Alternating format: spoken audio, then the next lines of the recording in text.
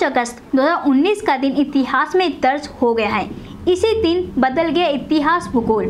मोदी सरकार का एक और ऐतिहासिक फैसले के बाद जम्मू कश्मीर से लद्दाख को अलग कर जम्मू और कश्मीर के साथ लद्दाख को बना दिया दिल्ली की तरह केंद्र शासित प्रदेश। जम्मू कश्मीर से अनुच्छेद 370 खत्म कर इतिहास बदल दिया। इसका पूरे देश में खुशी का माहौल देखने को मिल रहा है।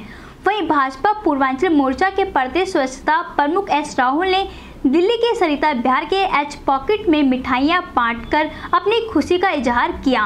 वहीं कार्यकर्ता ढोल ताशे की ताल पर नाचे और आमजन ने एक दूसरे को गले मिलकर बधाई दी और लड्डू खिलाए। वहाँ पर मौजूद लोगों में खुशी का माहौल देखने को मिला।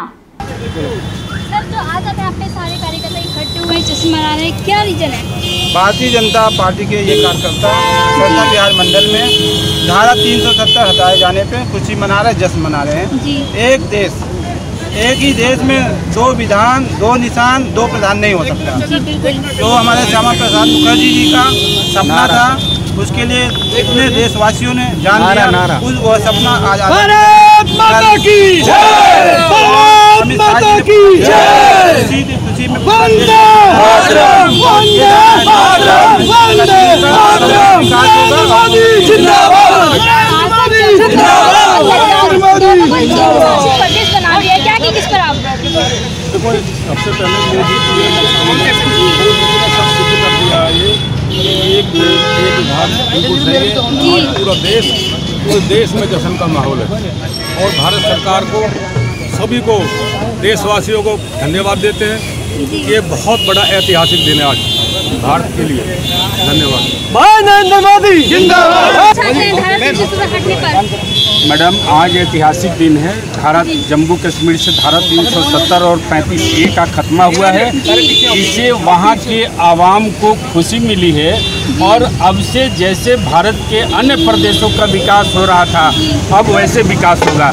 मैडम एग्ज़ाम्पल के तौर पर आपको बता दूँ कि यही जो पाकिस्तान का राग अलापते हैं। पाकिस्तान से आए पीछे साइड में। वहाँ के शरणार्थी। जम्मू कश्मीर में जो ठहरे पंजाब गए दिल्ली गए गुजरात गए महाराष्ट्र गए उनको नागरिकता मिली। लेकिन जो जम्मू कश्मीर में रह गए जो जम्मू कश्मीर में रह गए उनको नागरिकता नहीं मिली। मैडम जो पंजाब में गए या गुजरात में गए या कहीं और मिले वही पाकिस्तान के शरणार्थी दो प्रधानमंत्री दिया श्री मनमोहन सिंह और श्री गुजराल जी को। लेकिन जो कश्मीर में रह गए उनको पार्षद बनने का भी अधिकार नहीं रहा। अब ये जो धारा 370 और 35 से हटा हटा है इससे वहाँ की आवाम को पार्षद बनने का भी मौका मिलेगा उनको नागरिकता मिलेगी। जैसे भारत के अन्य प्रदेशों का विकास हो रहा है वैसे अब विकास हमारे जम्मू कश्मीर और लद्दाख के लोगों का भी विकास होगा। सारे लोगों को वहाँ आने जाने अपना बिज़नेस स्थापित करने का अ, मौका मिलेगा। जो आज अस्सी हज़ार करोड़ रुपया पार्टी ने भेजा था बीजेपी ने वहाँ के विकास के लिए वो वहाँ के मात्र तीन घराने खा जाते थे। अब उनको खाने का मौका नहीं मिलेगा। वहाँ के आवाम को मौका मिलेगा। जैसे चुनाव हुआ पीछे वहाँ के पंच सरपंच चालीस हज़ार पंच सरपंचों ने अपना पैंतीस सौ करोड़ रुपया अपने क्षेत्र में खर्च करके और वहाँ का मान बढ़ाया है। उसी तरह से अन्य प्रदेशों के हिसाब से जब बजट जाएगा तो पूरे प्रदेश वासियों का विकास होगा न कि मात्र तीन घराने का।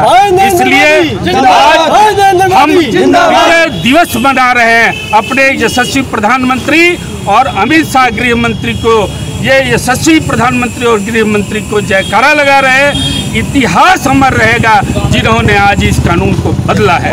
भारत माता की भारत सरकार अच्छा आप बोलिए।